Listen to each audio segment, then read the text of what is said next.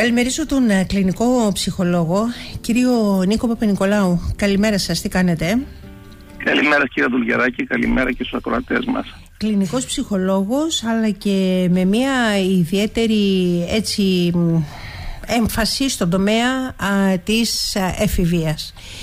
Ε, είναι μια συζήτηση που για τον ένα ή για τον άλλο λόγο εκκρεμούσε αρκετό καιρό αλλά μία η όσης, μία η γρήπη, μία η φωνή δεν καταφέραμε να κάνουμε αυτή την ε, κουβέντα είτε εσείς από τη δική σας την πλευρά είτε εγώ από τη δική μου την ε, πλευρά.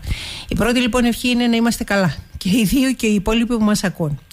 Ε, σε αυτή την έξαρση της βίας, την αντιμετώπιση της, σε αυτή την έκρηξη της εφηβικής βίας αναρωτιέμαι γιατί αυτό ήταν το πρώτο ερώτημα που σας είχα θέσει και παραμένω σε αυτό και τώρα τι; Και πώς το αντιμετωπίζουμε; Μπορεί να λέω τα πάντα όλα μπορεί να, ευθύνω, να ρίχνω ευθύνες στον εαυτό μου να λέω ευθύνομαι εγώ να ρίχνω ευθύνες σε εσάς, αλλά τώρα τι, πώς θα το αντιμετωπίσω; Ακριβώς, ακριβώς κύριε Δουλγεράκη. Νομίζω ότι αυτά πραγματικά τα οποία παρακολουθούμε και τα οποία ε, τα βλέπουμε είτε στα μέσα κοινωνικής δικτύωσης είτε στα δελτία ειδήσεων είτε τα ακούμε στα δελτία ειδήσεων. Νομίζω πραγματικά είναι, είναι πρωτοφανή έτσι ξέρετε. Είναι πρωτοφανή ως προς τη βιαιότητα, ως προς την αγριότητα που δεν, δεν, δεν αρμόζει σε κανένα πόσο δεν μάλλον σε έναν έφηβο έτσι. Ένα άλλο χαρακτηριστικό επίσης το οποίο βλέπουμε είναι ότι εμπλέκονται και κορίτσια τα οποία ακολουθούν τα αγόρια γενικότερα στον κατήφορο των δύο συμπεριφορών. Έφηβα κορίτσια τα οποία μέχρι πρώτη τουλάχιστον αυτό το φαινόμενο δεν το είχαμε τουλάχιστον τόσο έντονο το τρίτο επίσης είναι ότι υπάρχει βιντεοσκόπηση. Υπάρχει βιντεοσκόπηση όλων αυτών των άγριων σκηνών γενικότερα. Σκοπό πολλές φορές τον, τον διαδικτυακό εκφοβισμό, τον bullying, τον διαδικτυακό εκφοβισμό. Και ε, από όλα αυτά είναι χαρακτηριστικό και πρέπει να πούμε το ότι τελικά μάλλον αυτό που βλέπουμε είναι η κορφή του παγόβουνου, δεδομένου του ότι πάντα σύμφωνα με στατιστικές, ελάχιστες από όλες αυτές τις συμπεριφορές οι οποίες ενίοτε θα μπορούσαν να χαρακτηριστούν και, παθο, ε, και παραβατικές συμπεριφορές, ε, είναι συμπεριφορές οι οποίες φτάνουν να γίνουν γνωστές στο ευρύτερο κοινό. Ε, τώρα, όσον αφορά στο, το, το δεύτερο σκέλος του ερωτήματός σας, το τι κάνουμε, το τι μπορούμε να κάνουμε σε αυτό. Μα, μα, αυτό, είναι, μα αυτό είναι και το μεγάλο ζητούμενο. Να, να προλάβει ο κάθε γονιός ε, το δικό του το παιδί. Ό,τι και αν έχει γίνει μέχρι σήμερα, που πολλά μπορεί να έχουν γίνει, που, ή πολλά έχουν γίνει, ή ε, δεν δώσαμε την ε, δέουσα προσοχή σε άλλα τα οποία δεν θα έπρεπε να έχουν οι έφηβοι. Ή από μικρά παιδιά για να φτάσουμε στο σήμερα στην εφηβεία. Που σήμερα τα πράγματα είναι δυσκολότερα σήμερα είναι το ζητούμενο με τη βήματα, απλά βήματα, ξεκινάς να το μαζεύεις. Κοιτάξτε, το σίγουρο κυρία Δουλιαράκη είναι ότι δεν θα ξαναβρούμε την Αμερική. Ουσιαστικά αυτό το οποίο λέμε, αυτό το οποίο προτείνουμε είναι αυτό το αυτονόητο το οποίο έχουμε χάσει. Έτσι. Την, ε, τη, τη, τη, συγκεκριμένη χρονική στιγμή, μια ανοιχτή και χωρίς έτσι προσκόμματα θα έλεγα επικοινωνία, αντίδοτος όλη αυτή τη, τη βία που γινόμαστε καθημερινά μάρτυρες, έπαψε να υπάρχει. Δεν επικοινωνούμε πλέον, δεν ακούμε τον άλλον, ξέρετε. Δεν ακούμε το, τη, τη, τη, τη, γυναίκα μας, δεν ακούμε τον σύντροφό μας, δεν ακούμε τη σύντροφό μας, δεν ακούμε τα παιδιά μας. Η ΔΕ, ξέρετε, χαρακτηριστικά γενιά κάτω των 20, έπαψε πλήρως να επικοινωνεί. Ας κάνουν οι ακροατές μας, θα έλεγα ένα πείραμα. Πώς οι έφηβοι τηλεφωνούν, τηλεφωνούν το παραδοσιακό τηλέφωνο, έστω μέσα από το φορητό τηλέφωνο το οποίο έχουν, ο ένας τον άλλον. Όλοι οι έφηβοι, ξέρετε, μιλούν με μηνύματα, κωδικοποιημένες λέξεις ή κωδικοποιημένες έτσι, φράσεις. Κύριε Δουλγεράκη, όταν δεν υπάρχει επικοινωνία, εξανεμίζεται κάθε ελπίδα για καλλιέργεια της ενσυναίσθησης. Η επικοινωνία είναι βασικό δομικό στοιχείο της ενσυναίσθησης, αυτής της ενσυναίσθησης που έχουμε χάσει. Δηλαδή της ικανότητας που έχουμε, που δεν έχουμε βεβαίως πλέον, να μπαίνουμε στα παπούτσια και να καταλαβαίνουμε τι συμβαίνει στον άλλον. Τα πάντα τα ζούμε, ξέρετε, μέσα από μια εικονική πραγματικότητα, ειδικά στην εφηβική ηλικία. Θα, θα αναφέρω εδώ ότι έφηβος, ο οποίος ε, με επισκέφθηκε στο γραφείο μου, ο οποίος κατά το παρελθόν είχε επισκεφθεί τη Γάζα, στα πλαίσια ξέρετε, μια συγκρομή στους Αγίους Τόπους, δήλωνε λυπημένος που το έκανε πριν από δύο χρόνια και όχι τώρα που γίνεται πόλεμος εκεί. Ξέρετε, αυτό είναι οχληρό, γιατί για αυτό το πεδίο πόλεμος δεν διαφέρει από τα βιντεοπαιχνίδια που φαίνεται να παίζει με τους συνομιλίκους του. Άρα λοιπόν έχει μπλέξει ουσιαστικά την πραγματικότητα. Άρα λοιπόν βασικό, βασικότατο είναι η επικοινωνία. Αυτή την επικοινωνία που ίσως πρέπει να ξαναβρούμε. Ε, δεύτερο είναι κατανοώ. Έρχομαι σε επαφή με τα συναισθήματά μου. Πρέπει να κατανοήσω το πώς αισθάνομαι. Το αν αισθάνομαι θυμωμένος, το αν αισθάνομαι απογοητευμένος, το αν αισθάνομαι λυπημένος. Δυστυχώς, τις περισσότερες φορές, ένα συναισθηματικά αναλφάβητος έφηβος αυτό που κάνει είναι ότι μετατρέπει όλα αυτά τα συναισθήματα σε θυμό, σε οργή. Αυτό, αν θέλετε, συμβαίνει και λόγω εφηβείας, αλλά νομίζω ότι από τη στιγμή κατά την οποία όλα αυτές η, η, η, οργή ξεφεύγει από τα φυσιολογικά πλαίσια, ε, τότε νομίζω ότι δεν αρκεί και μόνο η εφηβεία, ούτως ώστε να μπορέσει να κάνει κάτι τέτοιο. Πάω λοιπόν να μεταφέρω έτσι γενικότερα σε ανθρώπους αυτή την οργή μου με τους οποίους με τον ένα ή με τον άλλο τρόπο έρχομαι σε επαφή. Επικοινωνώ, όπως έλεγα. Συμμετέχω, έτσι, ε, σηκώνομαι από τον καναπέ και αφήνω το μικρολόγιο γράφομαι σε συλλόγους, πάρα, πάρα πολύ βασικό, ειδικά για την εφηβεία. αυτά μου τα λέτε για τους εφήβους, από ό,τι καταλαβαίνω. Ακριβώς. Με συγχωρείτε. Και για τους ενήλικες, ωστόσο, ξέρετε. Ναι, ξέρετε, ε, εμένα με προβληματίζει το εξής. Ε, ε, επειδή είναι η εφηβεία, και την έχω περάσει και εγώ την εφηβεία και την έχετε περάσει και εσείς την εφηβεία, και ξέρουμε τι σημαίνει η εφηβεία. Και το καταλαβαίνουμε σε ένα μεγάλο ποσοστό, αλλά όχι πλέον στο 100%. Το ζητούμενο είναι τι κάνω εγώ από τη δική μου την πλευρά ώστε να πλησιάσω τον έφηβο με τον οποιοδήποτε κόπο, χρόνο, κόστος γιατί έτσι πάει πια. Αλλά είναι υποχρέωσή μου θεωρώ έτσι ώστε να του ανοίξω ενδεχόμενα αυτές τις πόρτες που είναι πάρα πολύ δύσκολο να ανοίξουν της ε, συνέστησης, αισθημάτων, ενσυναίσθησης και όλα τα υπόλοιπα. Άντε τώρα να πάω να πω εγώ στο δικό μου τον έφηβο ότι ξέρεις θέλω πάω να τον γράψω σε ένα σύλλογο ή έχω κάνω μια πρόταση για ένα σύλλογο. Θα μου πει ότι μάλλον δεν πάω καλά στα μυαλά μου ε, σίγουρα σε πρώτη επαφή ίσως αυτό θα μου πει αλλά από εκεί και πέρα ξέρετε όταν με κάποιο τρόπο προσπαθήσω να τον ακούσω. Γιατί τις περισσότερες φορές, ξέρετε, στην επικοινωνία με τους εφήβους παίρνουμε διάφορους ρόλους.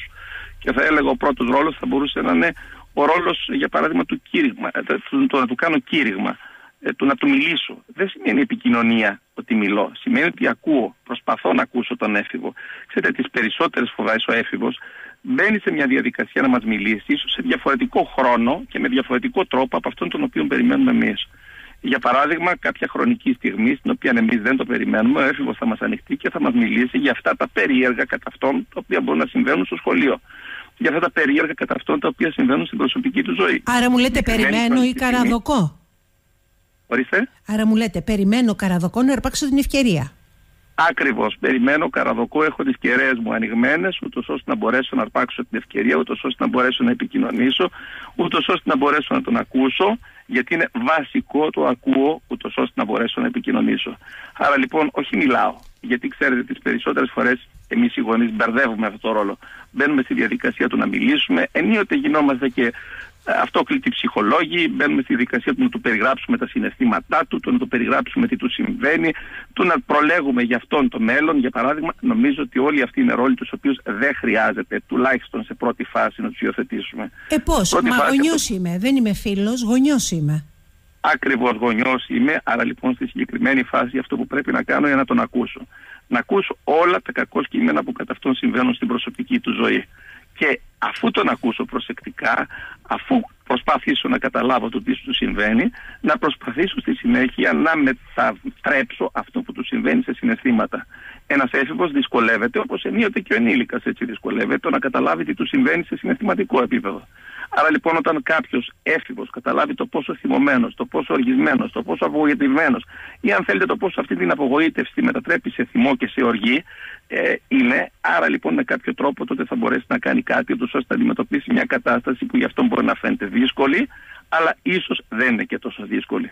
Είναι λοιπόν πολύ πολύ βασικό το να μπορέσουμε να πλησιάσουμε, να σκύψουμε, να ακούσουμε. Βασικά ας μείνει αυτό τουλάχιστον στους ακροατές μας.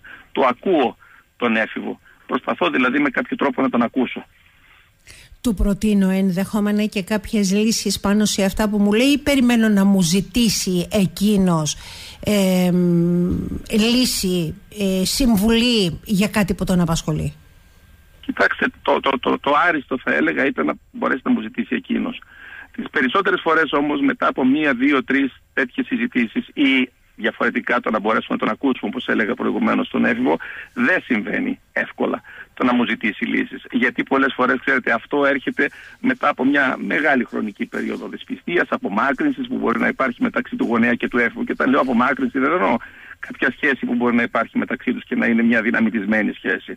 Μιλάω για μια σχέση η οποία σε ένα σημείο να είναι αδιάφορη είτε για λόγους φυσιολογικούς εντός εισαγωγικών μιλάμε για μια εφηβεία όπου ο έφηβος κλείνεται στον εαυτό του, όπου ο έφηβος απαρνιέται τους γονείς του για περιορισμένο βεβαίως χρονικό διάστημα.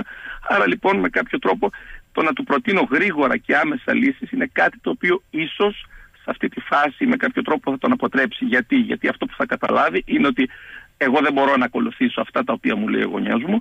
Εγώ δεν μπορώ να κάνω πραγματικότητα αυτά που μου λέει ο γονιός μου. Άρα λοιπόν με κάποιο τρόπο δεν με καταλαβαίνει. Άρα λοιπόν τι κάνουμε, ουσιαστικά ε, σπάζουμε την πρώτη προσπάθεια επικοινωνίας ε, διαλύουμε την πρώτη προσπάθεια επικοινωνίας, εν το γεννάστε θα έλεγα.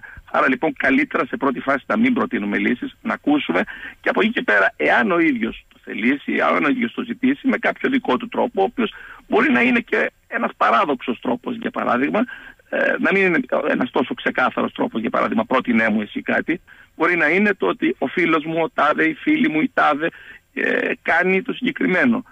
Άρα λοιπόν εκείνη τη στιγμή ουσιαστικά με κάποιο τρόπο μας ρωτάει στο τι, θέλει, τι, τι πρέπει να κάνει ο ίδιος. Αυτό ίσως πρέπει να το αποκωδικοποιήσουμε στη συγκεκριμένη χρονική στιγμή και αν είναι δυνατόν να του προτείνουμε κάποιες λύσεις θα, θα, θα έλεγα όμως ωστόσο ότι όλη αυτή η διαδικασία θα πρέπει να γίνεται με φιδό. Μάλιστα. Ε, είναι πολύ πιο δύσκολα τα πράγματα και πολύ πιο δύσκολα τα βήματα αλλά αν δεν προσπαθήσεις δεν καταλαβαίνεις ε, και ποια μπορεί να είναι η διαφορά ή δεν ξέρεις ποια μπορεί να είναι η διαφορά με το παιδί σου αλλά από κάπου πρέπει να ξεκινήσουμε διότι διαφορετικά δεν γίνεται με όλα αυτά τα οποία καταγράφουμε ε, δυστυχώς ε, στις, στις μέρες μας. Ε, με ανησυχεί πολύ περισσότερο που σας ανησυχεί το ότι μέσα σε αυτό το κλίμα της βίας ε, τον κύκλο της βίας έχουν μπει και τα κορίτσια όπως λέτε με τον οποιοδήποτε τρόπο επίσης κύριε Παπα-Νικολάου και είναι το τελευταίο που λέω ε, ε, διότι η κουβέντα είναι πάρα πολύ μεγάλη και ο χρόνος μας πιέζει. Ακριβώς, ακριβώς κυρία Δουλιαράκη. Νομίζω ότι σε αυτόν τον κατήφορο όπως έλεγα προηγουμένως ακολουθούν και τα κορίτσια έστω και αν τουλάχιστον σε επίπεδο α, έτσι, περιφερειακών πόλεων, όπως για παράδειγμα το Ηράκλειο, έχω την αίσθηση ότι ακόμα είμαστε σε ένα καλύτερο επίπεδο εντός εισαγωγικών σε σχέση με τις μεγαλοπόλεις Αθήνα, για παράδειγμα Θεσσαλονίκη, όπου εκεί δυστυχώς μιλάμε για πρωτοφανή φαινόμενα ακόμα και για συμμορίες ανηλίκων, έτσι. Πλησιάζονται ευκολότερα με τον τρόπο που μας είπατε πριν από λίγο για να κάνουμε τα πρώτα βήματα να, να, να είμαστε κοντά στα, στα παιδιά μας. Ε, περισσότερο τα κορίτσια ή τα αγόρια; Θα έλεγα ότι περισσότερο πλησιάζονται τα κορίτσια ως ένα σημείο, αλλά αυτό δεν είναι δογματικό, ξέρετε. Ε, γενικότερα η περίοδος της εφηβείας είναι μια περίοδος αμφισβήτησης. Είναι η περίοδος στην οποία εγώ χρειάζεται να αμφισβητήσω το γονέα μου, εγώ χρειάζεται να ταυτιστώ με τους συνομιλίκους μου, εγώ ενίοτε χρειάζεται να γίνω ένα με τους συνομιλίκους μου, εξού και μιλάμε για υγειοτρόπο ντυσίματος, υγειοτρόπο χτενίσματος, υγειοτρόπο κουρέματος, για παράδειγμα στις ναι. συγκεκριμένες χρονικές περιόδους της ζωής μας που το έχουμε ζήσει όλοι, ναι. αν θέλετε. Άρα λοιπόν, αφού με κάποιο τρόπο τον αμφισβητήσω, θα ταυτιστώ με τους συνομιλίκους μου και θα ολοκληρώσω αυτή την ταυτότητα, την ταυτότητα η οποία πρέπει να έχω στη συνέχεια σαν ενήλικας. Από εκεί και πέρα λοιπόν είναι αρκετά δύσκολο, θα έλεγα, για το γονέα να μπορέσει να πλησιάσει δεδομένη της εφηβείας. Αλλά ωστόσο είναι πολύ σημαντικό το να προσπαθήσουμε να ακούσουμε, να σκύψουμε πάνω από τον έφηβο, τόσο ώστε να μπορέσουμε να σπάσουμε αυτόν τον πάγο που ενίοτε συμβαίνει και φυσιολογικά λόγω της συγκεκριμένης χρονικής περίοδου, κύριε Δουλγεράκη. Μάλιστα. Μικρά, μικρά λιθαράκια.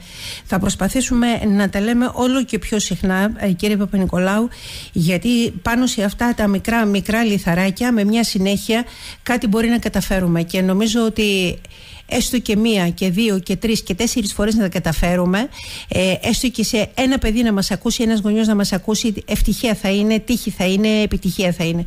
Σας ευχαριστώ πάρα πολύ. Καλημέρα σας. Εγώ σας ευχαριστώ. Καλημέρα.